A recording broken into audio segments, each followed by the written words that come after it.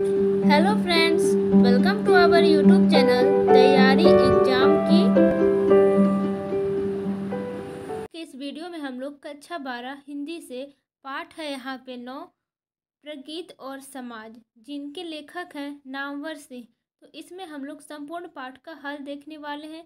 तो वीडियो को अंत तक ज़रूर देखिएगा। आप लोग हमारे चैनल पे नए हैं तो चैनल को सब्सक्राइब करके बेल आइकन को प्रेस कर लीजिएगा, ताकि हमारे और भी वीडियोज़ के नोटिफिकेशन सबसे पहले आप तक पहुँचे तो आइए वीडियो को स्टार्ट करते हैं। पाठ नो है प्रगीत और समाज, जिनके लेखक हैं, नामवर सिंह। तो इसमें हम लोग परीक्षा उपयोगी महत्वपूर्ण तथ्य देखने वाले हैं, जो कि एग्ज़ाम के दृष्टिकोण से बहुत ही महत्वपूर्ण है। प्रश्न है, नामवर सिंह का जन्म कब हुआ था? तो उत्तर हो जाएगा 28 जुलाई उन्नीस सौ सत्ताईस ईस्वी को। आगे का यहाँ पे प्रश्न आता है, नामवर सिंह का जन्म स्थान कहाँ है? तो उत्तर हो जाएगा यहाँ पे जियनपुर, वाराणसी उत्तर प्रदेश में। ठीक है, आगे का प्रश्न आता है, नामवर सिंह के माता पिता का क्या नाम है? उत्तर हो जाएगा बागेश्वरी देवी एवं नागर सिंह, जो कि एक शिक्षक थे उनके पिता। ठीक है? और माता का नाम बागेश्वरी देवी। आगे का प्रश्न आता है, नामवर सिंह के शिक्षा के विषय में आप क्या जानते हैं? तो उत्तर हो जाएगा यहाँ पे, प्राथमिक, आवाजपुर एवं कमालपुर। उत्तर प्रदेश के गाँव में और हाई स्कूल किए थे। Hewett Kshatriya school Banaras, inter Uday Pratap college Banaras, BA और एमए, बीएचयू से क्रमशः उन्नीस सौ उनचास एवं उन्नीस सौ इक्यावन में किए।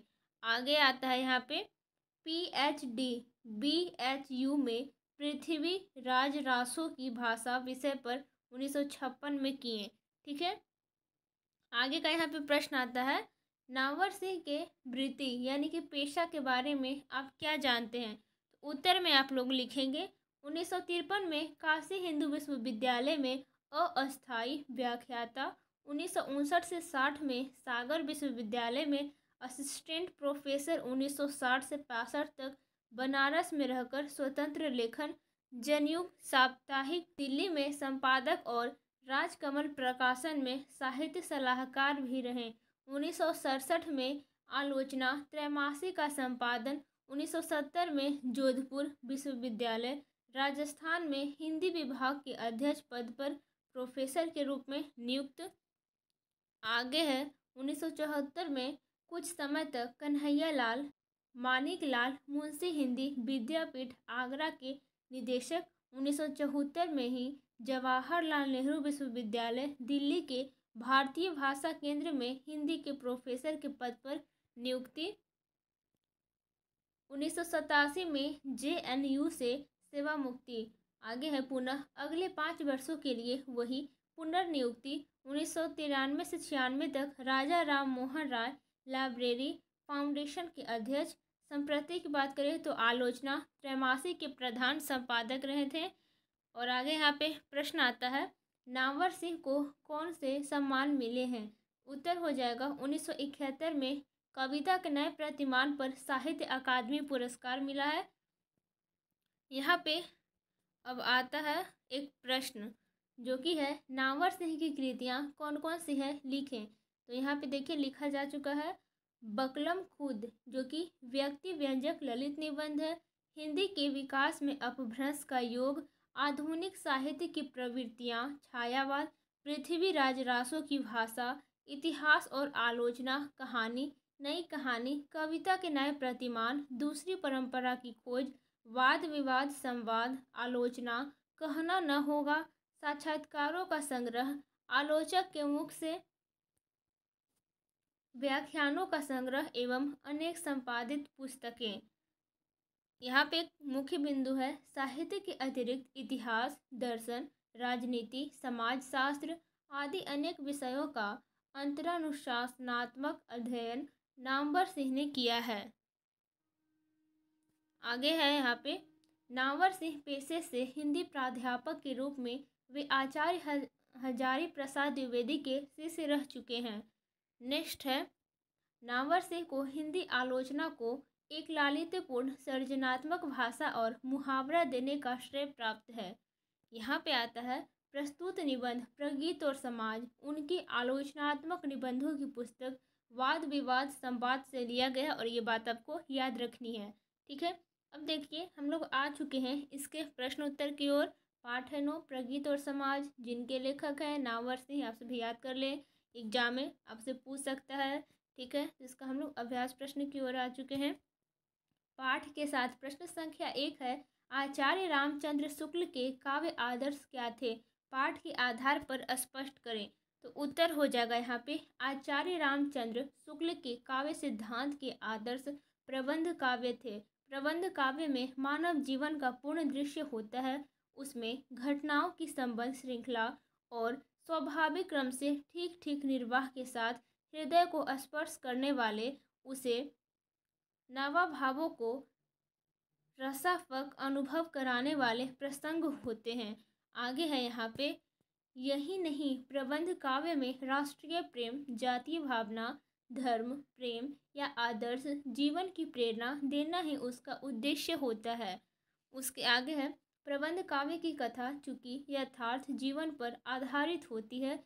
इससे उसमें असंभव और काल्पनिक कथा का चमत्कार नहीं, बल्कि यथार्थ जीवन के विविध पक्षों का स्वाभाविक और औचित्यपूर्ण चित्रण होता है।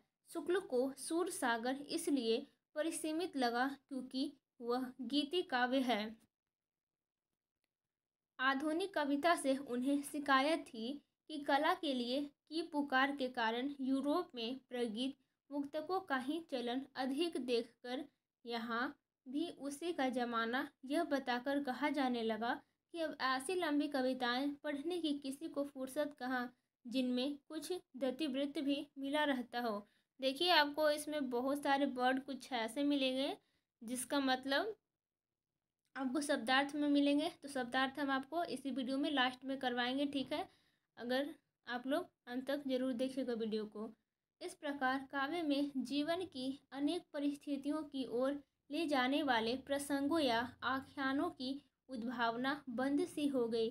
इसलिए जो ही प्रसाद की शेर सिंह का शस्त्र समर्पण, पोथोला की प्रतिध्वनि, प्रलय की छाया तथा कामायनी और निराला की राम की शक्ति पूजा तथा तुलसीदास के काव्य सामने आए तो शुक्ल जी संतोष व्यक्त करते हैं।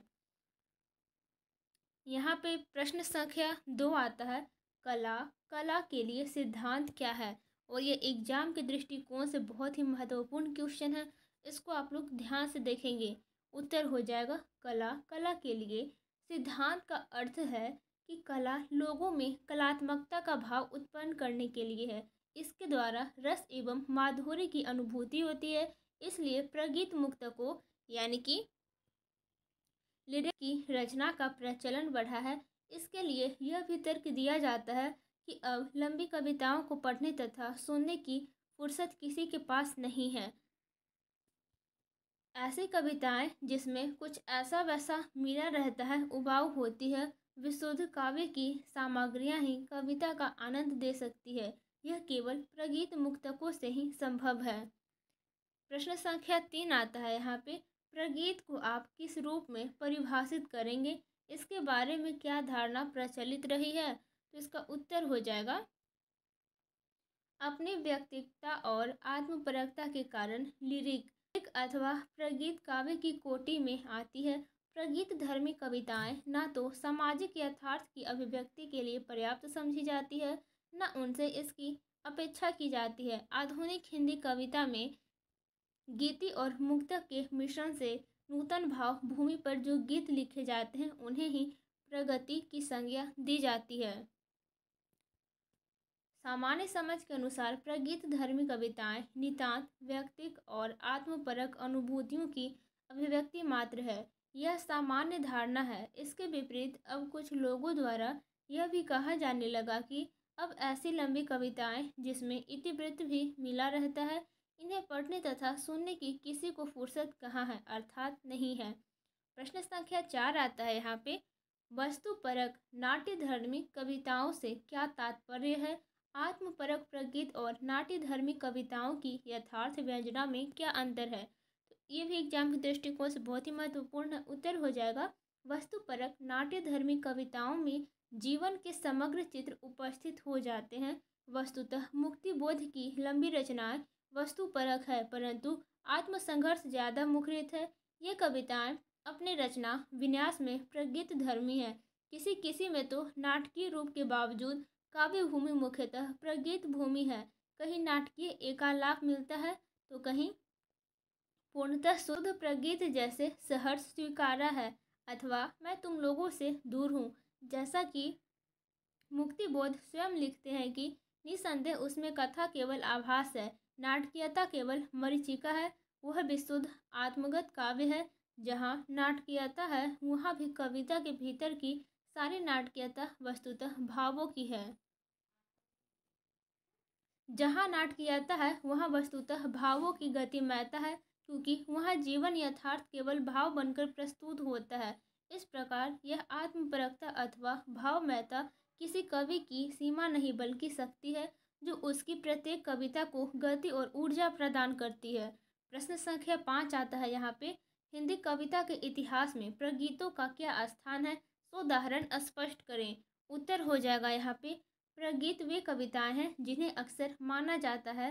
कि ये कविताएँ सीधे सीधे सामाजिक न होकर अपने व्यक्तित्व और आत्मपरकता के कारण लिरिक अथवा प्रगीत काव्य की कोटि में आती है। गीति काव्य गीत शैली का नव्यतम विकास है। प्रगीत धर्मी कविताएँ न तो सामाजिक यथार्थ की अभिव्यक्ति के लिए पर्याप्त समझी जाती है, न उनसे इसकी अपेक्षा की जाती है, क्योंकि साम्राज्य समझ के अनुसार वे अंततः नितांत व्यक्तिक और आत्मपरक अनुभूतियों की अभिव्यक्ति मात्र है, परंतु छायावादी काल में प्रसाद की शेर सिंह का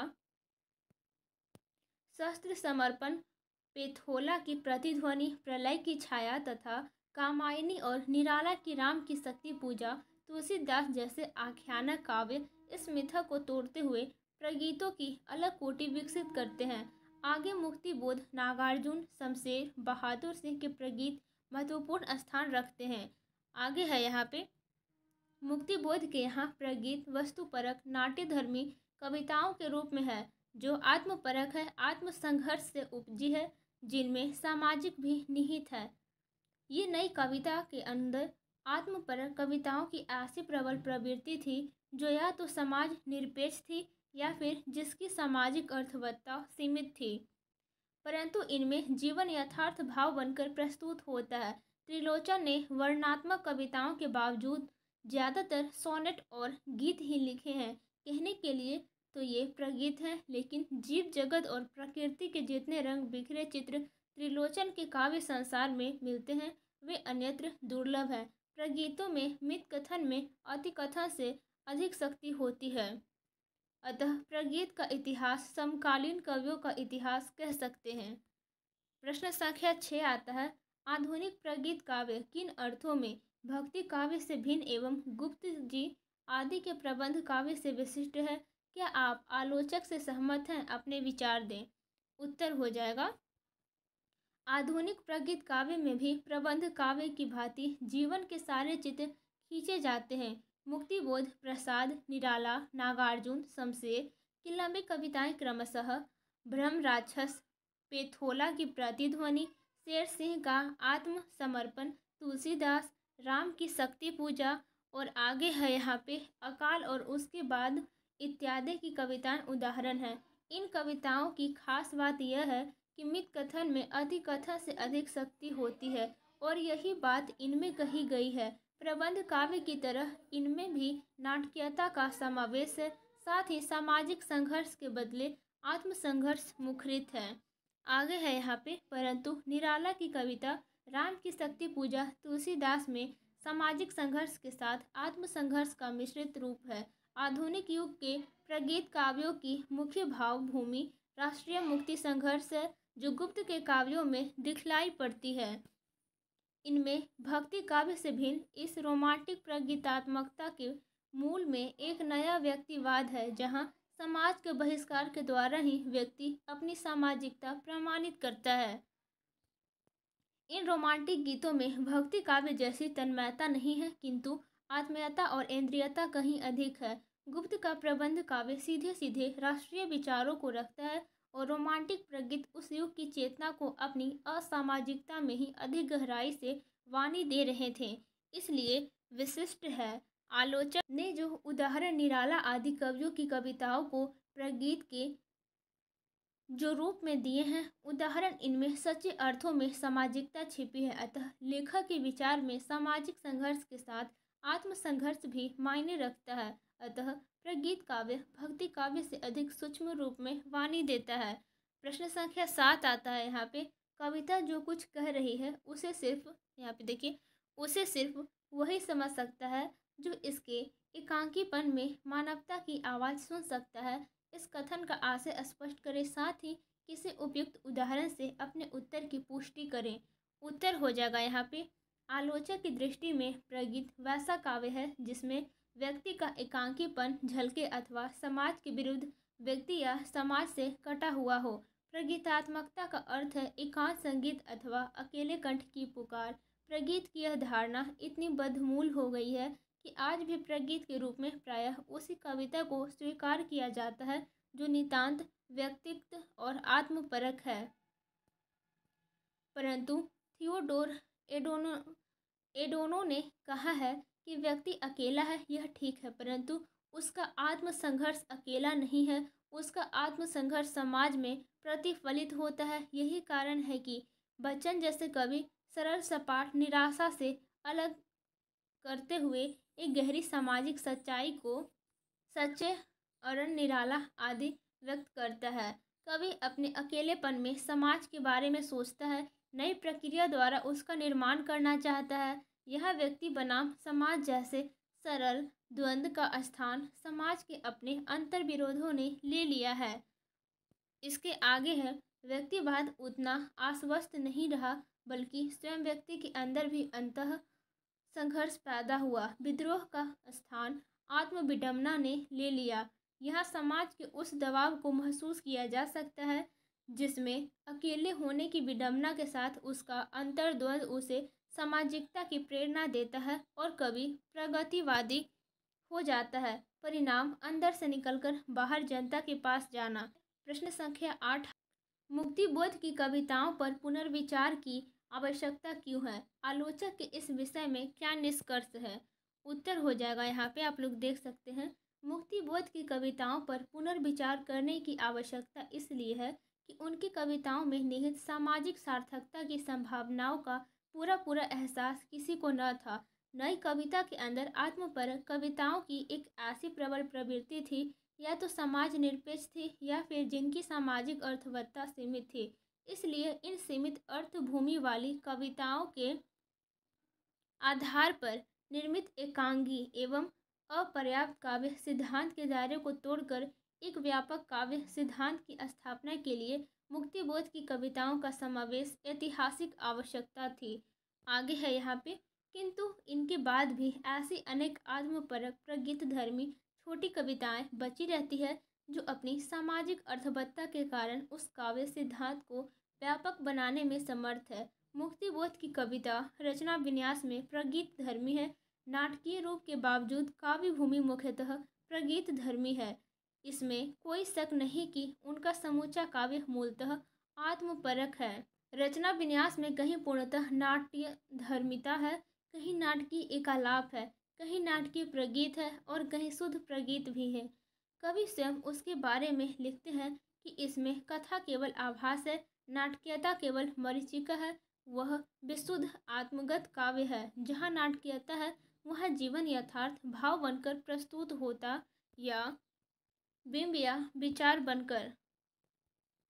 कहने की आवश्यकता नहीं कि ये आत्म प्रगीत भी नाट्यधर्मी लंबी कविताओं के सदृश ही यथार्थ को प्रतिध्वनित करते हैं। इस प्रकार उनकी कविताओं में निहित सामाजिक सार्थकता का बोध स्वभावतः संभावनाओं की तलाश करता है, जिसके लिए मुक्तिबोध की कविताओं पर पुनर्विचार आवश्यक है। प्रश्न संख्या यहाँ पर नौ आता है। त्रिलोचन और नागार्जुन के प्रगीतों की विशेषताएँ क्या है? पाठ के आधार पर स्पष्ट करें। नावर सिंह ने त्रिलोचन के सोनेट, वही त्रिलोचन है। वह और नागार्जुन की कविता तनगईरीड का उल्लेख किया है। ये दोनों रचनाएँ पाठ के आसपास खंड में दी गई है। उन्हें भी पढ़ते हुए अपने विचार दें। देखिए, हम यहाँ पे अपना विचार दे चुके हैं। आप लोग चाहें तो इसे आंसर के रूप में लिख सकते हैं। ठीक है? तो यहाँ पे है, त्रिलोचन की कविताएँ कहने के लिए प्रगीत है। लेकिन जीव जगत और प्रकृति के जितने रंग बिरंगे चित्र त्रिलोचन के काव्य संसार में मिलते हैं, वे अन्यत्र दुर्लभ है, ठीक है? किंतु इन भास्वर चित्रों को अंततः जीवंत बनाने वाला प्रगीत नायक का एक अनूठा व्यक्तित्व है, जिसका स्पष्ट चित्र उस जनपद का कवि हूँ संग्रह के उन आत्मपरक सोनेटों में मिलता है। इनमें आत्मचित्र वस्तुतः एक प्रगीत नायक की निर्व्यक्तिक कल्प सृष्टि है, जिनसे नितांत व्यक्तिकता के बीच भी एक प्रतिनिधि चरित्र से परिचय की अनुभूति होती है। आगे है यहाँ पे, वही नागार्जुन की बहिर्मुखी आक्रामक काव्य प्रतिभा के बीच आत्म प्रगीतात्मक अभिव्यक्ति के क्षण भी आते हैं, लेकिन जब आते हैं तो उनकी विकट तीव्रता प्रगीतों के परिचित संसार का एक झटके से छिन्न भिन्न कर देती है। फिर चाहे वह तन गई रीढ़ जैसे प्रेम और ममता की नितांत निजी अनुभूति हो, चाहे जेल के शिखंचों से सिर टिकाए चलने वाला अनुचिंतन और अनुताप नागार्जुन के काव्य संसार के प्रगीत नायक का निष्कवच फक्कड़ व्यक्तित्व उनके प्रगीतों को विशिष्ट रंग तो देता ही है, सामाजिक अर्थ भी ध्वनित करता है। आगे है यहाँ पे कवि त्रिलोचन, वही त्रिलोचन है वह और नागार्जुन की तनगई रीढ़ कविता में अपने व्यक्तिकता में विशिष्ट और सामाजिकता में सामान्य है। यह कवि व्यक्तिवादी न होते हुए भी व्यक्ति विशिष्ट के प्रति झुका हुआ है। आगे है यहाँ पे, अपने समाज से लड़ते हुए सामाजिक है, दुनियादारी न होते हुए भी इसी दुनिया का है। यह नया प्रगीत उनके नए व्यक्तित्व से ही संभव हो सका है। उनके व्यक्तित्व के साथ निश्चित सामाजिक अर्थ भी ध्वनित करता है।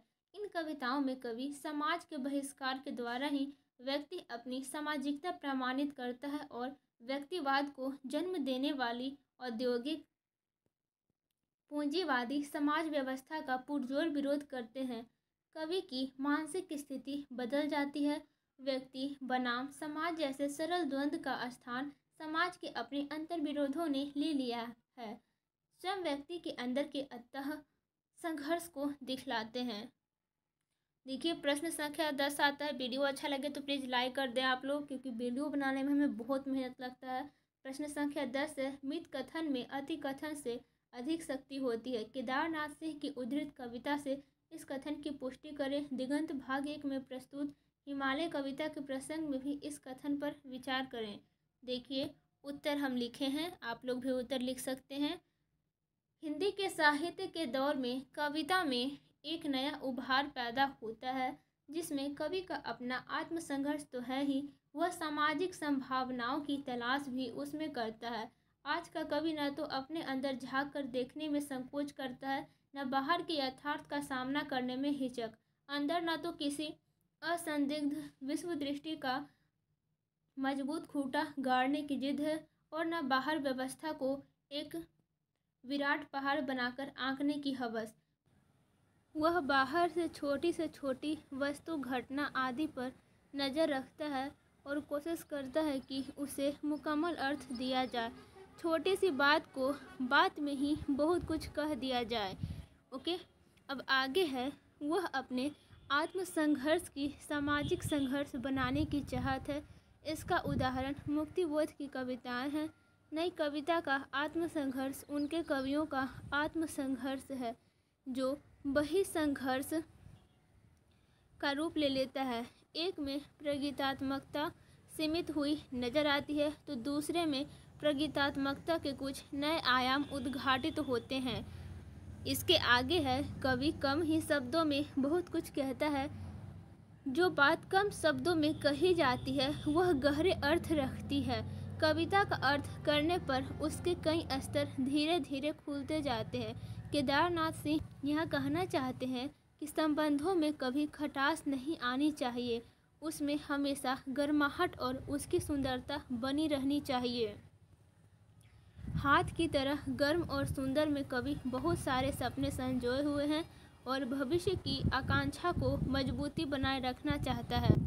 इन थोड़े से शब्दों में कवि अधिक गहरी चोट करता है, अतः अधिक बोलने से अच्छा कम बोलना है, क्योंकि वह ज़्यादा प्रभावी होता है। प्रश्न संख्या ग्यारह आता है। हिंदी की आधुनिक कविता की क्या विशेषताएँ? आलोचक ने बताई है। उत्तर हो जाएगा। हिंदी की आधुनिक कविता में नई प्रगीतात्मकता का उभार देखता है।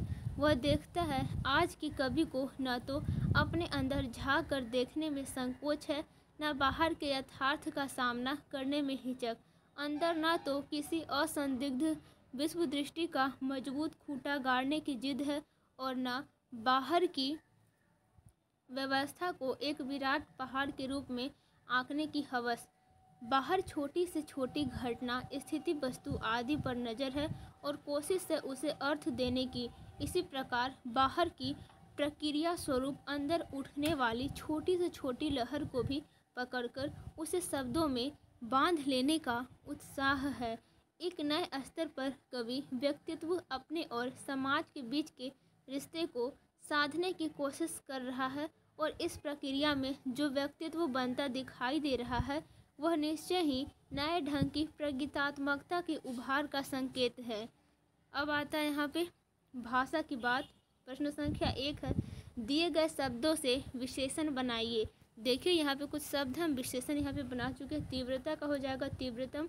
समाज का सामाजिक, व्यक्ति का व्यक्तित्व, आत्मा का आत्मीय प्रसंग का प्रासंगिक, विचार का वैचारिक, इतिहास का ऐतिहासिक, स्मरण का स्मरणीय, शर्म का शर्मिला, लक्षण का लाक्षणिक, इंद्रिय का इंद्रिय। प्रश्न संख्या दो आता है, नीचे लिखे वाक्यों से अवयव और कारण चिन्हों को अलग करें। कारक के चिन्ह किस कारक के हैं, यह भी बताएँ।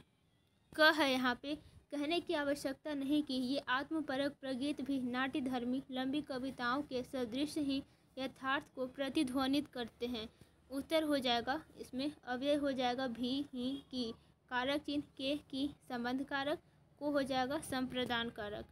ख इस दिशा में पुनर्विचार के लिए सच पूछिए तो मुझे सबसे पहले प्रेरणा स्वयं मुक्ति बोध की काव्य से ही मिली। उत्तर हो जाएगा अव्यय में तो ही कारक चिन्ह में जो कि अधिकरण कारक है और के लिए हो जाएगा संप्रदान कारक और के हो जाएगा संबंध कारक और से हो जाएगा करण कारक। ठीक है?